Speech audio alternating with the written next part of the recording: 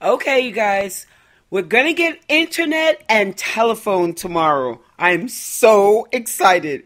All right, now what you're looking at is the wall that Sean constructed to put the little smart board. Now, this smart thing, let me show you what the box is because I'm probably saying it wrong. It's like a media center thing. It has a cover on it. Hold on, I'm turning around. It has a little cover on it so that you can put all the wiring that goes for the telephone, for the internet, and all that stuff. We have to have a landline out here because, as you know, we're in the middle of nowhere. So, we want to make sure we have a landline. So, up to this point, I don't know if you recognize this spot, but this is like the open, open area. Remember they had the octagonal window and all that? It's like totally open. So right now I'm looking from the extension. All right, so he did the wiring, and you could see it, you know, going all the way here. And we're getting ready to go outside and see what he's doing outside.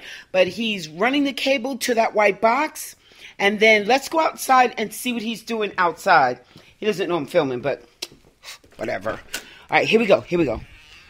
And we're going outside. I don't know if you guys can see it. Isn't this amazing?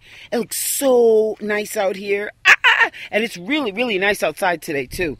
So anyway, walking around the house, walking around the house. I'm just trying to, you know, give you a little bit of entertainment as we get around here. Because if I ran, you wouldn't be able to tell what I'm doing here. But anyway, Sean, the cable guy, see the cable that was from inside is outside here.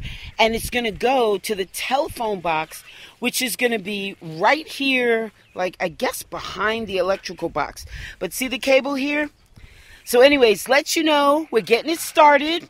And then once it gets done, I'll let you guys see what it looks like. But until then, see ya!